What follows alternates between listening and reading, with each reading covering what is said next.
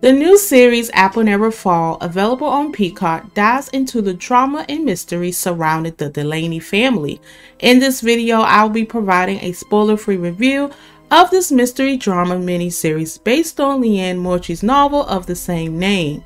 Liane, known for her satisfying storytelling, previously brought us adaptations like Nine Perfect Strangers and Big Little Lies.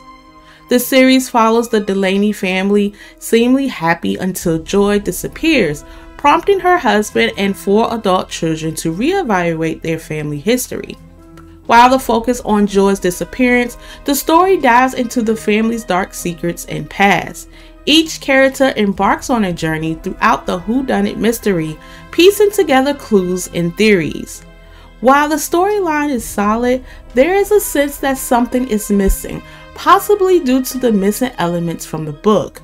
However, the series efficiently immersed viewers into the narrative, providing insight into each character's background and experience.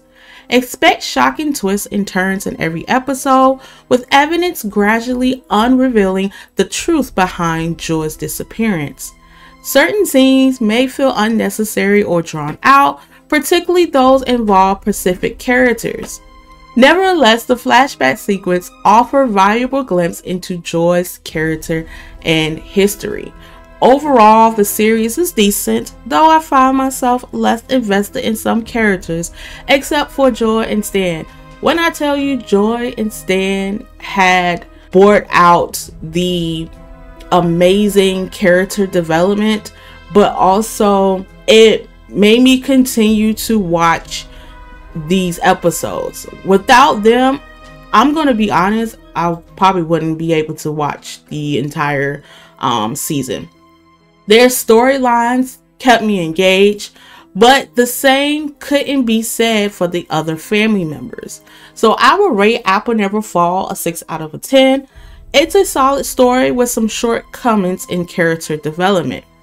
I am curious to know your thoughts on this series. Let me know if you enjoyed it or if you had a different experience.